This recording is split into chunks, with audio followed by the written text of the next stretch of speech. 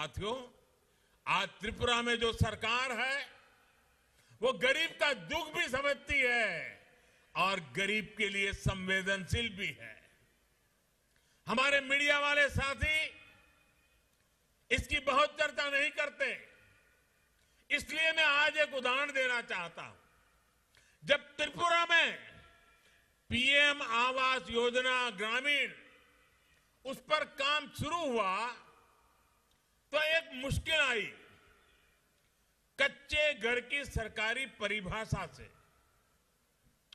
पहले जो सरकार यहाँ थी, उसने व्यवस्था बनाई थी कि जिस घर में लोहे की चादर से बनी छत होगी, उसे कच्चा घर नहीं माना जाएगा। यानी घर के अंदर की सुविधाएँ भले ही जर्जर हो दीवारें मिट्टी की हो, लेकिन छत पर लोहे की चादर होने भर से उस घर को कच्चा नहीं माना जाता था। इस वजह से त्रिपुरा के हज़ारों ग्रामीण परिवार पीएम आवास योजना के लाभ से वंचित थे। मैं प्रशंसा करूँगा मेरे साथी विप्लव देव जी की क्योंकि वो इस विषय को लेकर के मेरे पास आए।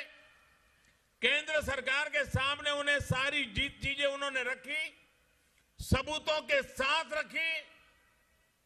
इसके बाद भारत सरकार ने भी अपने नियम बदले, परिभाषा को भी बदल दिया।